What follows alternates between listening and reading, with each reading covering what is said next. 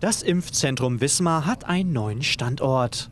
Seit dem 1. Juli werden die Bewohner des Landkreises Nordwestmecklenburg im Haus 18 auf dem Gelände der Hochschule Wismar geimpft. Das Zentrum verfügt über einen großzügigen Raum, in dem die Anmeldung und die Registrierung erfolgen. In vier getrennten Impfkabinen wird dann im selben Raum geimpft.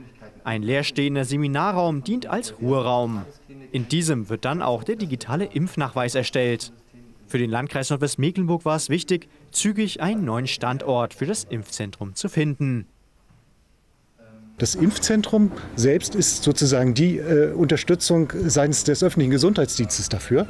Äh, und äh, die Impfzentren haben wirklich begonnen, sozusagen dieses Impfen auch durchzumachen, äh, durch, anzubieten, äh, was tatsächlich äh, dann ja auch uns wirklich durch die Pandemie bringen kann.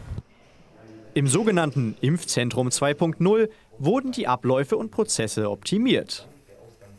In der geriatrischen Tagesklinik haben wir das Einbahnstraßensystem in U-Form. Äh, wir haben dort fünf Strecken.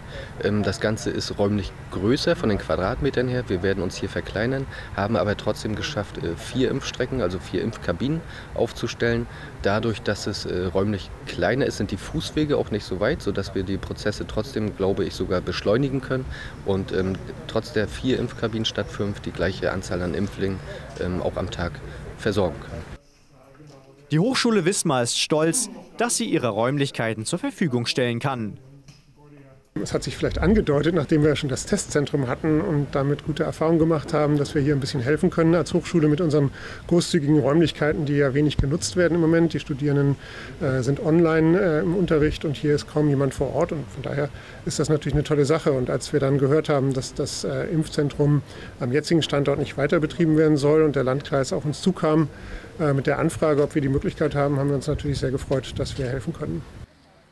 Der Impfbetrieb in der geriatrischen Tagesklinik des Sana-Hanse-Klinikums läuft noch bis zum 30. Juni.